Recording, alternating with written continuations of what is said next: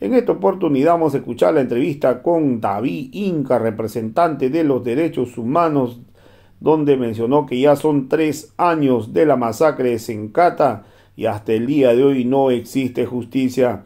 También recalcó que en su momento Evo Morales había subestimado la marcha de los Pitita.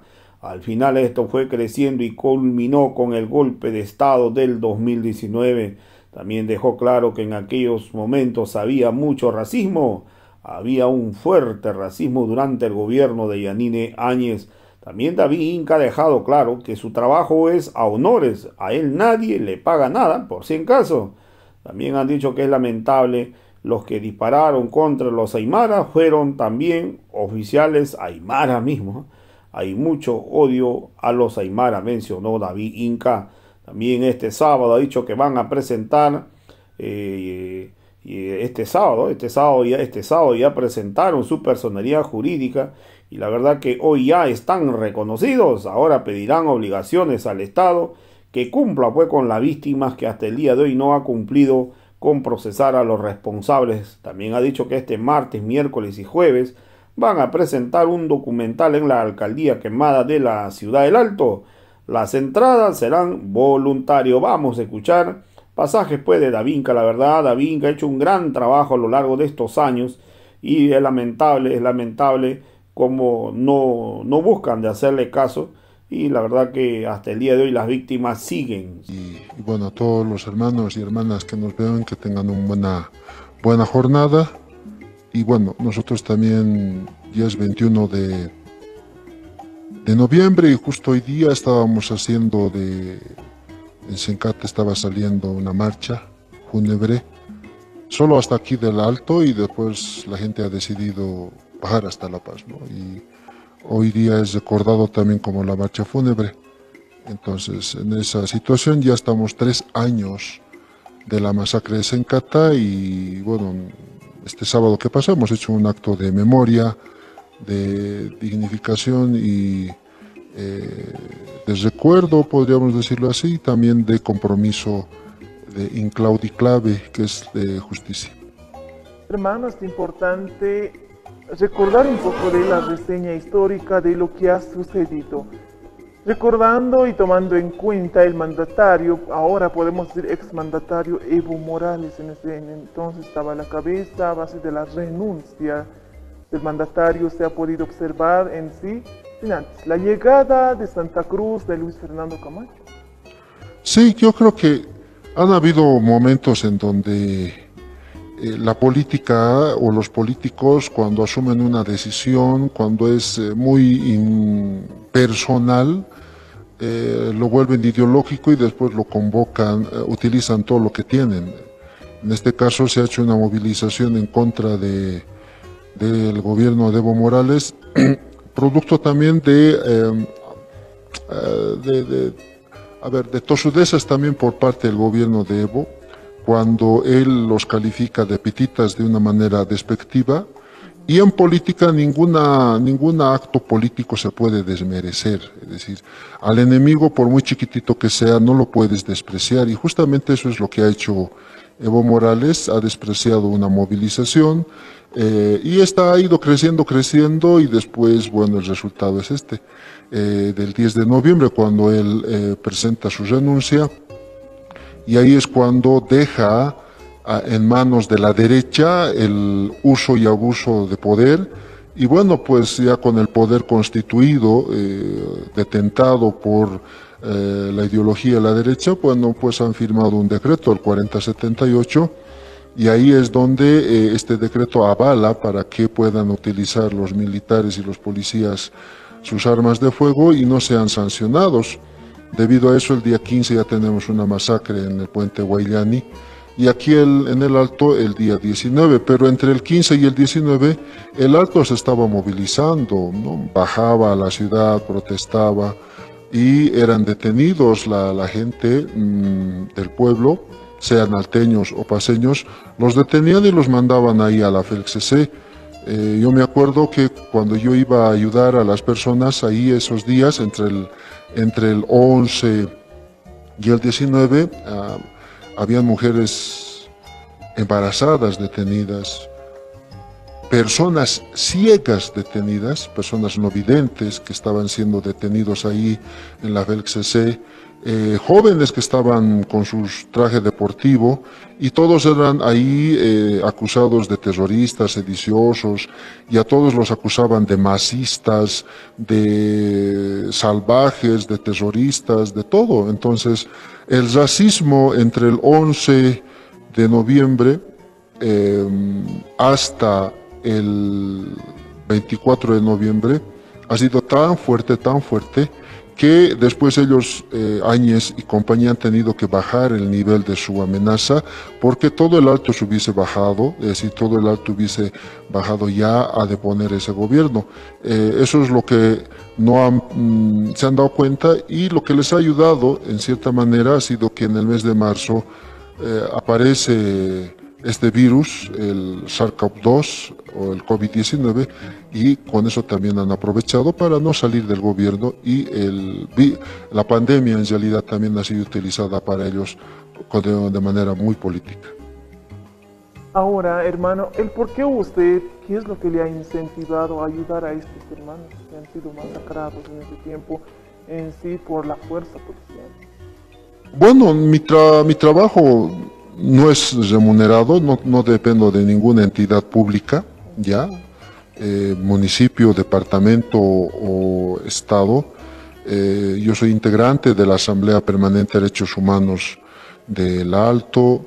Eh, he sido la persona que ha reorganizado la Asamblea el 2003 cuando eh, también se produjo el masacre del 2003 en octubre, ya, y ahí es donde hemos incorporado a las organizaciones sociales al trabajo de la Asamblea de Derechos Humanos, ya, pero más antes mi militancia viene desde el año 2000, 1993, bueno, he llegado a ser ejecutivo departamental en los 2096, después en el 98 eh, eh, he, asumido cargos nacionales, también ha sido ejecutivo internacional de Amnistía Internacional, entonces eh, mi trabajo está en esa línea.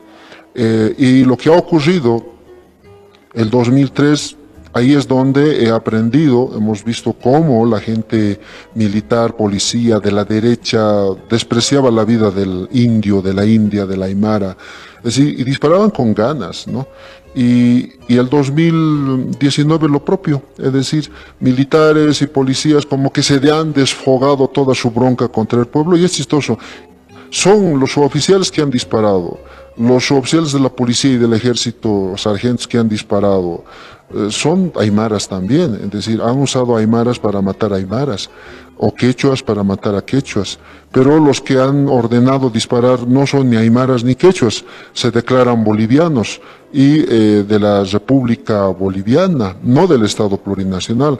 Por eso también muchos policías han cortado la huipala de sus, eh, de sus uniformes y eh, la gente de la derecha no le interesa el tema de, la, de lo indio, de la India o de la Aymara, es decir, es una rabia de hace 500 años ese odio, ¿no? De, mejor si desaparecemos, mejor si no hay mujeres de pollera, sino que todos se vistan al estilo europeo, ¿no?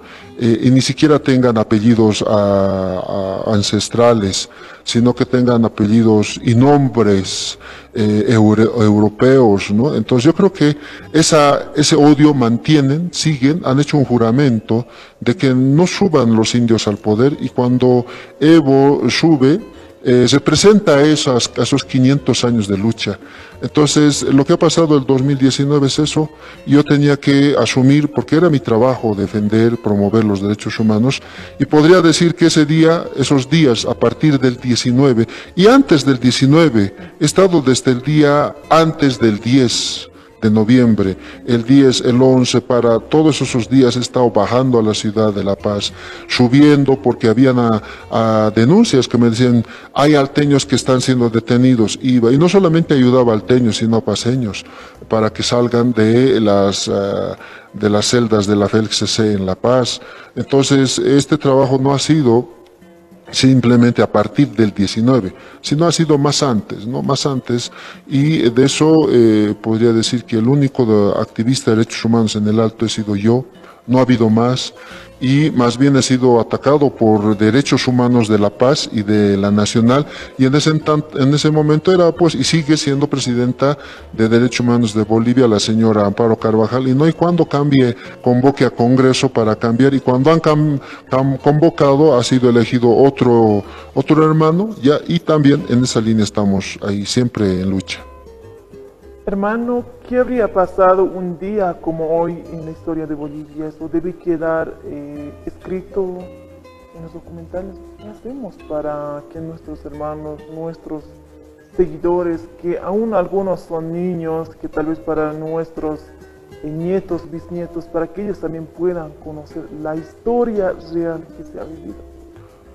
Eh, se han escrito ya varios libros han he visto el año pasado y este año seguramente va a salir, eh, libros editados, publicados por eh, ex ministros que ahora aparecen como los grandes defensores o los grandes eh, intelectuales que en su eslogan nunca han cumplido, patria o muerte decían, y nunca han cumplido eso. Lo primero que han hecho es escaparse a una embajada y desde ahí cobardemente dice que han hecho la resistencia. Algunos se han ido a otro país, cobardemente también. Pero la gente que ha aguantado es la que se ha quedado, el pueblo es el que se queda. Los gobernantes siempre se dan a fuga, Esa es eso está en la historia. Pocos son los que se quedan y los que se quedan suben también a la historia como eso pero otros eh, van a ser recordados como eso, como simples cobardes, ya que eh, desde un país extranjero o de una embajada extranjera han querido hacer la revolución. En eso ha habido varias documentales que han hecho también esta, estos ex ministros, ex e, intelectuales de izquierda, jailones de izquierda también les decimos en sentido de rabia, ¿ya? y que han presentado sus documentales, sus, sus libros, eh, pero las víctimas de Sencata han elaborado su propio documental. Ya, eh, ya lo han presentado, este documental lo hemos presentado oficialmente en julio de este año, donde ha estado la única, el único medio que nos ha, eh, digamos, internacional dado cobertura ha sido Telesur. ¿Sí? Y después los otros medios de comunicación alteños han estado, pero la clásica de los medios oficiales, entre comillas, ¿no? los que tienen cobertura nacional, ni siquiera nos han dado importancia. Entonces, es lógico, es lógico eso porque ellos están dentro de una línea. En este documental dura dos años, dos horas, perdón, dos horas eh, y un poquito más, pero ahí los protagonistas son los hermanos que han sido detenidos y torturados, los hermanos que han sido heridos a bala, ¿ya? Y bueno, pues los familiares de los eh, fallecidos, donde eh, expresan, presentan primero eh, su proyecto de vida, ¿ya? Y cómo ha pasado, y también desmentimos ahí el hecho de que mucha gente en el alto lo ha creído, ya donde dicen que los salteños, o más que todos los que viven en Sencata, querían volar la planta de, de Sencata. Es una gran mentira porque hay informes. Hasta el mismo ministro de ese entonces de hidrocarburos manda un informe donde dice en ningún momento había la intención de volar la planta de Sencata. Y ese informe lo tenemos, es decir, no es un invento. Eh, la gente de la derecha también dice que no había la intención de volar en la planta. Y a nosotros nos parece bien extraño de que cuando ha habido estas movilizaciones del censo, un grupo de, eh, eh, de, militantes del comité de la Juventud Cruceña, ¿no? Van a la planta de YPFB allá en Santa Cruz con petardos, y cerca de los tanques hacen reventar sus petardos, pero a ellos no les dicen que querían volar eh, la planta de YPFB allá en Santa Cruz, es decir, eso se omite en la, en la información, en la comunicación de estos medios eh, afines a la derecha y, eh, y queda así, ¿no? Ni siquiera como 30 segundos de noticia. Entonces ahí vemos la parcialización de estos medios de comunicación. Eh, justamente el día sábado hemos hecho nuestro aniversario y no estaban estos medios de comunicación. A pesar de que nosotros hemos comunicado, les hemos dicho vamos a hacer este acto. Solamente periodistas del Alto han venido, medios de comunicación del Alto han hecho la cobertura, pero estos canales eh, nacionales eh, no le han dado la cobertura Y eso también nos demuestra que todavía están con esa lógica de minimizar a las víctimas de Sencata y como también de Sacaba. Para culminar ahora, ¿qué exigimos a nuestras autoridades nacionales y cómo ve el actuar de la justicia? Bueno, la justicia lamentablemente está manipulada por eh, un tema político. Bueno, aquí siempre ha sido así, en este gobierno, en el gobierno de la Áñez, en el gobierno de Evo, en el gobierno de Sánchez de Lozada. Es decir, eso no vamos a descubrir la pólvora. Es decir, cuando la política se mete en justicia, en temas emblemáticos de justicia, ahí es donde no hay justicia. Eh, por suerte, el día sábado ya hemos presentado nuestra personería jurídica tenemos personalidad jurídica, ahora ya es otro nivel, es decir, vamos a cambiar de escenario, porque eh, teniendo personalidad jurídica, el, Estado nos ha reconocido, ya no solo somos una asociación de víctimas, somos una asociación que tiene un reconocimiento estatal y por lo tanto este reconocimiento estatal nos da facultad de pedir a autoridad jurisdiccional el cumplimiento de eh, obligaciones que tiene el Estado. En este caso, ¿cuáles son las obligaciones que tiene el Estado? El cumplimiento del decreto 4176 de ayuda humanitaria, el cumplimiento del decreto supremo de eh, fideicomiso, que hasta la fecha no lo han cumplido, el cumplimiento de, de seis actas que ha firmado el gobierno con las víctimas, eh, obligándose a atender a las víctimas tanto de detenidos torturados, y eh, el de ayuda con viviendas y eh, también de eh, devolución de gastos procesales. Ahora sí, tranquilamente podemos ir donde un juez ya de garantías constitucionales y exigir eh, que vengan, sean llevados a estrado judicial y el juez les ordene de que cumplan lo que no están cumpliendo. Y si no quieren cumplir, entonces el juez puede ordenar un proceso penal ordinario contra estas autoridades, sean ministros o cualquier autoridad, eh, de, de el incumplimiento de leyes de convenios, de acuerdos, ya, y en ese sentido ya estamos en una etapa diferente. Ahora sí vamos a empezar a utilizar un documento que tenemos, ya no vamos a ir a pedir nomás, bajo el amparo del artículo 24, que nos ha ayudado harto, ahora ya bajo una figura, bajo un manto de eh, reconocidos como persona jurídica, y eso es lo que vamos a hacer a partir de hoy día. Y si bien la justicia, así como se señala, está manipulada, no se ve el buen actuar de la justicia, tomando en cuenta hay autores quienes habrían encabezado este golpe de Estado en sí, la renuncia del exmandatario Evo Morales, ahora como víctimas. También han quedado hermanos huérfanos, podemos decir hermanas viudas, hermanos viudos. ¿Cuál es el accionar de ellos? Bueno, estamos trabajando una ley, la ley de reparación eh, integral, la ley general de reparación integral. El documento ya nos han presentado la semana pasada, es un documento borrador, lo estamos estudiando, tenemos un compromiso que hasta el día viernes vamos a presentar nuestras observaciones. Ahí es donde vamos a poner bien clarito en un artículo concreto que todos los servidores públicos que han participado en las vulneraciones a los derechos humanos tienen que ser procesados. Y eh, eso eh, no es un favor, eso tiene que estar en la ley. Segundo, que todas las víctimas, ya sean personas que han sido heridas, torturadas, familiares de fallecidos, eh, tengan el, el, reconocimiento pleno por el Estado en su dignificación. tenemos el decreto supremo donde tenemos algunas ayudas humanitarias y eso tiene que volverse ley. Entonces, em, en el caso de que los diputados no quieran atender esta, este proyecto de ley, eh, nosotros les vamos a hacer recuerdo. Parece que aquí es importante hacer un cabildo y el cabildo está por encima de todos los eh, cuatro poderes del Estado y el cabildo es el que tiene que eh, tiene más poder que el presidente. Entonces creo que eso vamos a tener que utilizar.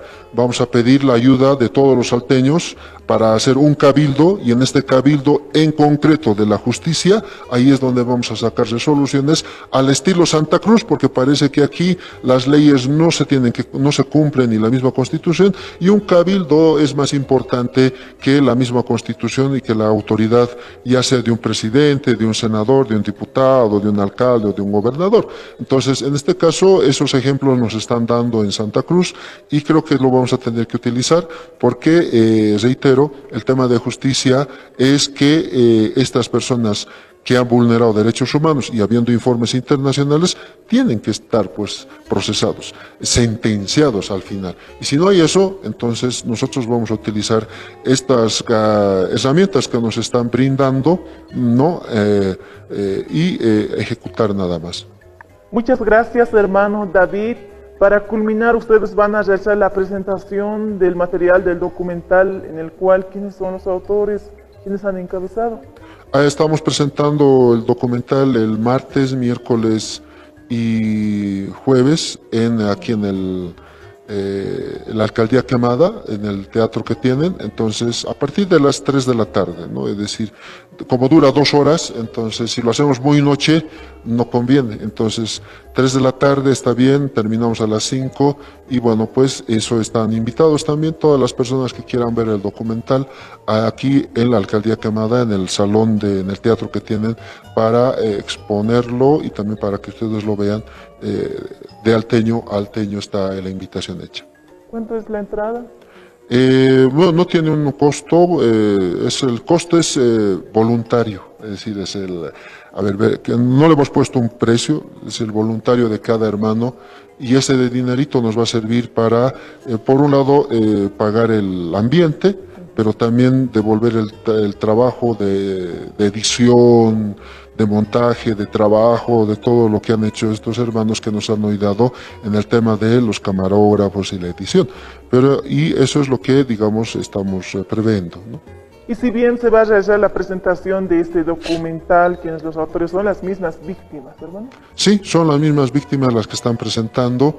Gracias por la pregunta. En este documental no hay ningún intelectual de derecha o de izquierda que nos venga a decir qué ha pasado ese día, cuál es la interpretación política. No, eso no nos interesa. Eso es para la derecha y la izquierda.